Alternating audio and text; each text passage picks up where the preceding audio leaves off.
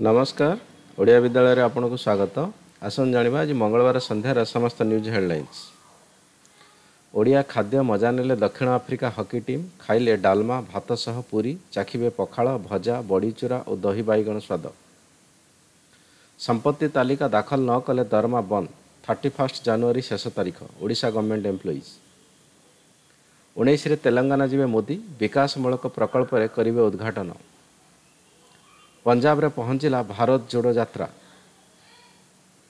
ହାଡ଼ଭଙ୍ଗା ଜାଡ଼ରେ ବି କଂଗ୍ରେସ ସାଂସଦ ରାହୁଲ ଗାନ୍ଧୀ କେବଳ ଗୋଟିଏ ଧଳା ଟି ସାର୍ଟ ପିନ୍ଧି ଭାରତ ଯୋଡ଼ୋ ଯାତ୍ରା କରୁଛନ୍ତି।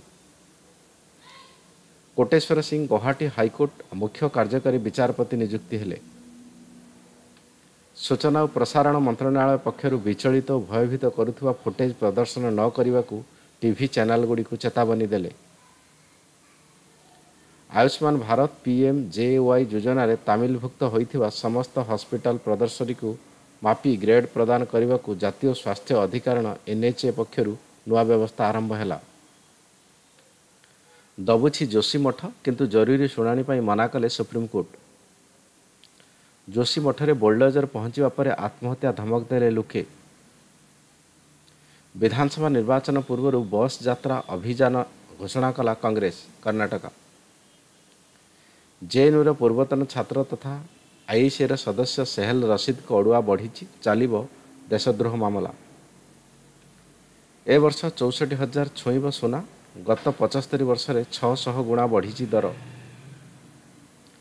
ଆଇଫୋନ୍ରେ ପ୍ଲାଣ୍ଟ କିଣିବାକୁ ଯାଉଛି ଟାଟା ଆଇଫୋନ୍ ନିର୍ମାଣରେ ହେବ ଭାରତର ପ୍ରଥମ କମ୍ପାନୀ।